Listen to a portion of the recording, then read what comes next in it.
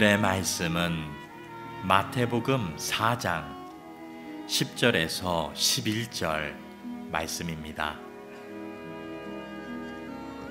이에 예수께서 말씀하시되 사탄아 물러가라 기록되었으되 주 너의 하나님께 경배하고 다만 그를 섬기라 하였느니라 이에 마귀는 예수를 떠나고 천사들이 나와서 수종드니라 아멘 작년 11월 포항에서 진도 5.8의 지진이 일어났습니다. 또 그 전년도에는 경주에서도 지진이 일어났는데 특별히 포항에서 일어난 지진은 그 강도가 얼마나 강했는지 서울 수도권에 있는 사람들도 그 지진의 강도를 느낄 만큼 어, 사람들이 두려움과 공포를 떨기에 아주 충분했던 5.8 정도면 굉장히 강력한 어, 지진이었죠. 그래서 이제는 이 한반도도 지진의 안전지대가 더 이상 아니다. 그래서 늘 가까운 일본이나 외국처럼 지진에 대해서 대피하는 운동들을 해야 된다. 이런 여론들이 굉장히 많습니다. 요즘 보면 TV에서 간혹 지진이 일어났을 경우 어떻게 대피하고 어떻게 어, 안전하게 어, 그 긴급한 행동을 하십시오라는 요령을 TV에서 내보내는 걸 몇 번 봤습니다. 아마 웬만큼 하도 얘기를 많이 하니까 다 아실 거예요. 지진이 일어나면 예를 들어 실내에서는 이렇게 책상 밑이나 탁자 밑에 머리를 보호하고 들어가라. 아, 그리고 가스나 전기 이런 밸브를 차단하고 창문을 열어서 어, 환기를 해라. 그리고 실내에 있는 사람들은 빨리 실외로 어, 넓은 운동장이나 뭐 이런 곳으로 또 아니면 지하로 이렇게 내려가는 게 좋다. 뭐 여러 가지 그런 어, 안전 대피 요령들을 캠페인으로 소개하고 있습니다. 다 웬만한 우리 학생들이나 국민들이 지진이 정말 일어나면 나한테 이렇게 하는 거래라는 걸 많은 사람들이 알고 있다는 거죠. 그런데 전문가들이 이런 얘기합니다. 사실 우리나라가 지금 만약에 지진이 일어나면 아는 것 갖고는 안 된다는 거예요. 뭐가 문제냐? 이 아는 걸 몸에 배도록 한동안 우리 민방위 훈련 이런 거 열심히 했거든요. 그런 것처럼 정말 딱 사이렌 소리만 들리면 아 이게 지진이구나라는 걸 아는 순간 아주 자동적으로 빨리빨리 몸으로 체득한 것들이 그 이동되도록 그러니까 온 몸에 그것이 완전히 행동 요령이 익혀지고 채울 때까지 이게 중요하다는 거예요. 알고는 있는데 한 번도 해보질 않았기 때문에 머릿속에는 그렇게 해야 된다는 걸 아는데 내 몸에 익혀지지 않고 내 몸에 채워지지 않아서 막상 비상 상황에 움직이려고 해도 우왕좌왕하면 그 아는 건 아무 소용도 없다. 이런 얘기를 합니다. 여러분 우리가 설교를 얼마나 많이 들었습니까? 여러분 성경 공부 얼마나 많이 하셨고 성경의 이야기를 얼마나 여러분 많이 알고 계십니까? 똑같습니다. 아는 거 가지고 안 되고 그 말씀이 예수님의 능력이 내 안에 채워질 때, 내 것이 될 때, 그게 말씀이고, 그게 능력이고, 그게 축복인 줄 믿습니다. 그래서 올해는 우리가 표어가 예수로 채우라 예요. 따라합시다. 예수로 채우라. 특별히 오늘 이 아침에는 말씀을 채우십시오. 예수를 채우는 것 가운데 가장 중요한 첫 번째는 우리의 삶 속에 우리의 심령 가운데 말씀을 채우는 거예요. 오늘 마태복음 4장에 나오는 얘기 너무나 유명한 얘기죠. 예수님께서 공생애를 시작하시기 전에 성령에 이끌려서 광야로 나가십니다. 그리고는 제일 먼저 예수님께서 40일 동안 금식 기도를 하십니다. 여러분 금식 기도를 해보신 분 알겠지만 금식 기도는 정말 기도 중에 가장 힘든 기도예요.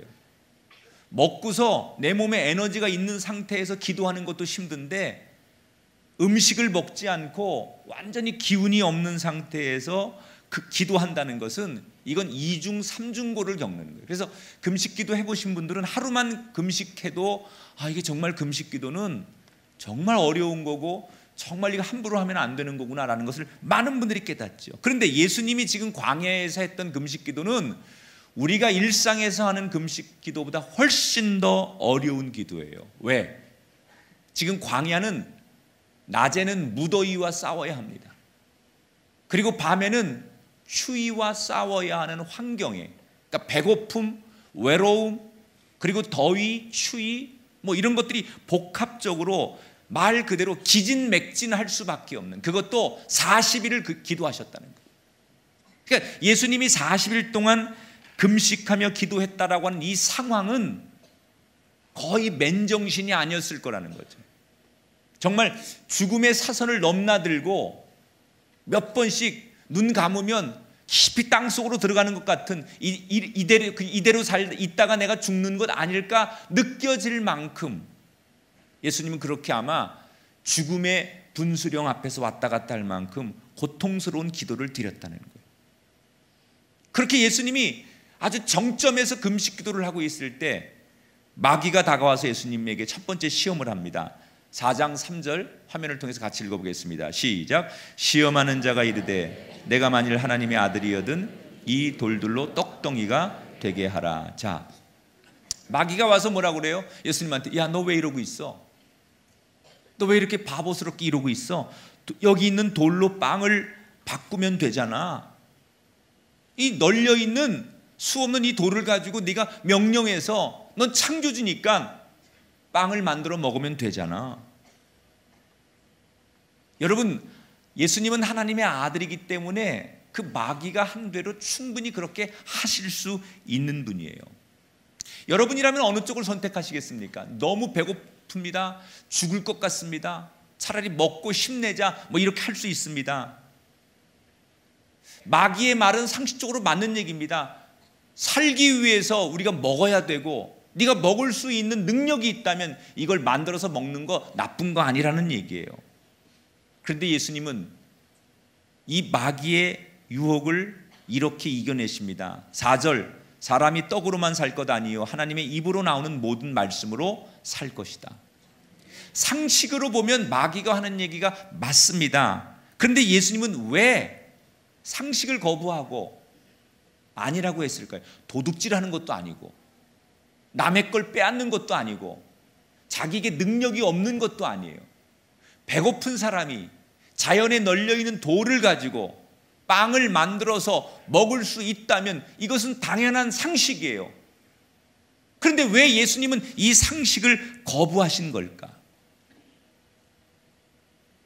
내가 배가 고파서 지금 죽을 것 같지만 빵이 나를 살리는 게 아니라 떡이 나를 살리는 게 아니라 진짜로 나, 나를 살리는 것은 세상의 음식이 아니라 이 음식이 나를 지켜주고 이 음식이 내 생명을 지켜주고 이 음식이 나를 보호하는 게 아니라 진짜 나를 보호하는 것은 이 빵과 떡과 음식이 아니라 하나님이라는 거예요. 예수님은 그걸 알았기 때문에 내가 아무리 죽을 것 같은 상황이고 아무리 배가 고프고 아무리 본능적으로 힘들어도 나를 살리는 건 이 떡이나 이 빵이 아니라 진짜 나를 살리는 건 하나님 말씀이라는 거예요. 여러분, 우리를 살릴 분은 하나님밖에 없습니다. 이스라엘 백성들이 광야에서 40년을 지냅니다. 광야라는 것은 절망의 땅입니다. 소망이 없는 땅입니다. 뭔가를 할 수 없는 땅이 광야입니다. 그래서 보통 사람들도 광야는 가지 않습니다. 광야는 등 돌리는 곳입니다. 그런데 하나님께서 이스라엘 백성들을 광야 한복판으로 인도하셨습니다. 근데 그들은 죽지 않았습니다. 40년 동안. 왠지 아십니까? 광야에 먹을 게 있었고, 광야에 물이 있었고, 광야에 무슨 뭐 좋은 집이 있었기 때문에 그들이 살아난 게 아닙니다. 하나님이 지키셨기 때문에. 아무리 환경이 광야일지라도 하나님께서 지켜주셨더니 40년을 걷더니 살수 있었다는 거예요. 여러분, 우리가 한 해를 살면서 때로는 우리 눈앞이 막막하고 여러분 가정의 경제적인 거, 일터, 여러분 자녀, 육신이 광야처럼 막막하고 절망적인 순간이 있을 겁니다. 그때 여러분을 지켜주는 건 돈이 아닙니다. 그때 여러분을 지켜주는 건 사람이 아닙니다. 여러분을 지켜주는 건 세상에 먹을 게 아닙니다. 하나님이 여러분 삶과 함께 할 때 하나님이 여러분을 지켜주시는 거예요. 따라 합시다. 사람이 떡으로만 살 것 아니요. 하나님 말씀으로 살 것이라. 할렐루야. 이 새벽 여러분 인생에 하나님 말씀이 채워지게 되길 축원합니다. 그래야 삽니다, 여러분. 말씀을 채우십시오. 여러분 안에 말씀이 떠올라지고 말씀이 생각나고 말씀과 함께 고민하고 말씀을 묵상하고 말씀을 붙드시고 말씀을 의지하시고 말씀이 우리 가정과 내 인생에 꽉꽉 채워질 때 여러분 인생이 살게 될 줄 믿습니다. 그래서 우리는 말씀을 채우고 살아야 돼요.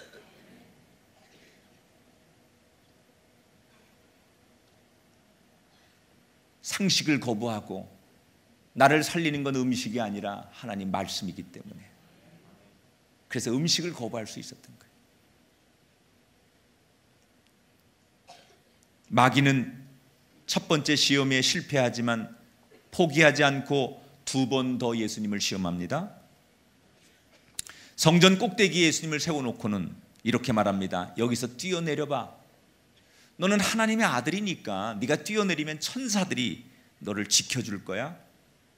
그러면 이 많은 사람들이 얼마나 너한테 열광하겠니? 그럼 넌 원하는 걸 다 얻을 수 있는 거야. 이렇게 유혹합니다.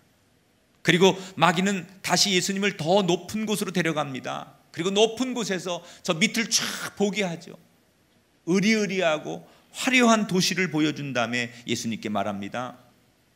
너 딱 한 번만 나한테 엎드려 절하면 내가 이 의리의리한 세상 도시를 너한테 다 줄 거야. 너 한 번 세상 사는데 모든 권력을 네 손에 한 번 쥐고 싶지 않아? 너 원하는 거다 가질 수 있어. 나한테 한 번만 네가 충성 맹세하고 엎드리면 이 세상 모든 권력을 다 너한테 줄 수 있어. 이게 시험이에요. 여러분 이 마귀가 두 번째, 세 번째 예수님을 시험했던 시험에 공통점이 있어요.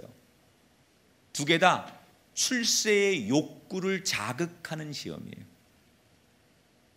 두 번째 시험은 인기를 얻어서 출세하고 싶은 이 욕심. 세 번째 시험은 부귀 영화를 통해서 출세하고 싶은 욕심. 자, 보통 우리가 가장 많이 당하는 시험이 이런 거 아닙니까? 우리 성공하고 출세하고 경쟁해서 이기고 싶지요.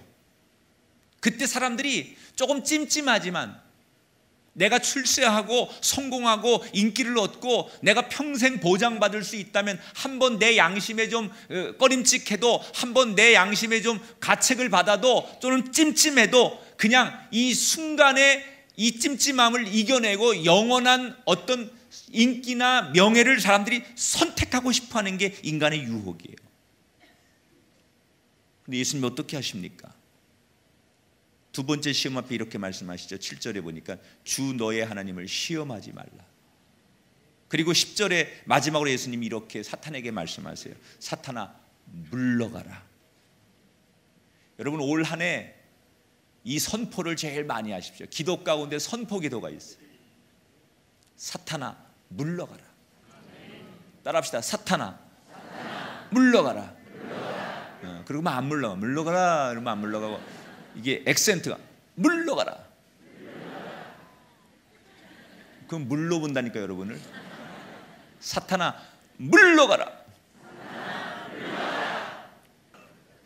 여러분 올 한 해 동안 이 선포가 여러분에게 많아지게 되길 바랍니다. 여러분 가정과 인생 앞에 정말 예수님처럼 이 사탄을 향하여 이렇게 과감하게 선포하시기를 주 이름으로 축원합니다. 예수님이 마귀의 유혹을 단호하게 물리치셨어요. 사탄아 물러가라. 여러분 출세할 수 있는 절호의 기회가 왔는데 예수님은 오히려 세상 사람들의 논리로 보면 바보처럼 그걸 물리치셨어요. 왜 그랬을까요, 예수님? 여기 예수님의 철학이 있는 거예요. 이 세상을 다스리는 진짜 주인은 마귀가 아니라 하나님이라는 거예요. 여러분 우리가 이걸 알면 마귀가 우리한테 별걸 다 준다고 해도 출세를 보장하고 부귀영화를 보장하고 우리 평생의 아름다움을 보장하고 별걸 다 보장해도 이걸 알면 우린 절대 그 유혹 앞에 넘어지지 않아요. 따라합시다. 이 땅은 하나님께서 다스리십니다. 입신양명이라고 하죠. 출세하고 싶은 마음, 사람이 이기고 싶은 마음, 모든 인간의 본능이에요. 세상에서는 이걸 어떻게 가르치느냐? 출세만 할 수 있다면 우리가 어떻게 하든 간에 앞설 수만 있다면 부귀영화를 얻을 수 있다면 그 길을 선택해라. 그러면서 뭐라고 포장하느냐? 그게 지혜로운 거다. 이길 수 있다면 그 이기는 길을 가는 게 지혜로운 거다. 세상에선 그렇게 학문이 사람들이 우리에게 그렇게 가리킵니다. 조금 불법을 쓰든 조금 탈세를 하든 조금 탈법을 하든 그래도 이기면 된다라고 하는 걸 세상은 끊임없이 가리킵니다. 그게 지혜로운 거야라고 가르칩니다. 그리고 그런 권고를 받아들이지 않는 사람을 바보 어리석다라고 얘기합니다. 그런데 여러분 누가 진짜 바보입니까? 광야를 걷던 이스라엘 백성들에게 아말렉 민족이 기습적으로 공격을 합니다. 그때 아말렉 민족은 이스라엘 백성들을 오합지졸 아무것도 아닌 줄 알고 자기들은 대단한 줄 알았습니다. 그런데 결국 누가 이깁니까? 강한 줄 알았던 아말렉이 아무것도 아니라고 생각하는 이스라엘에게 집니다. 왠 줄 아십니까? 세상을 다스리는 하나님께서 이스라엘을 인도하셨기 때문입니다.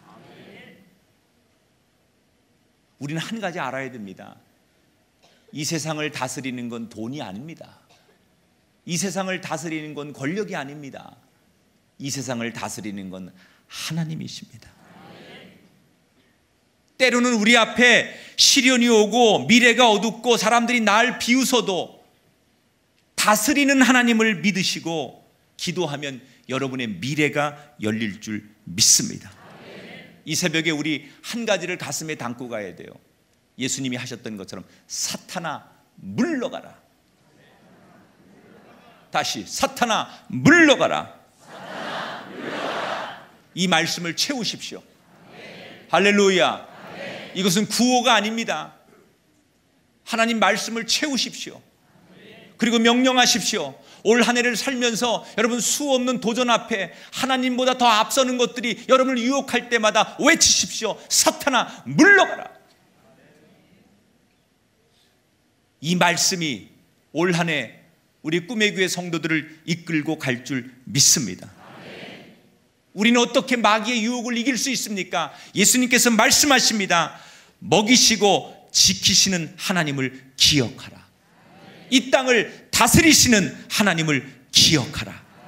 마귀를 물리치신 예수님의 말씀을 기억하고 기도할 때 우리 모든 성도들도 넉넉히 이기는 한 해가 될 줄 믿습니다.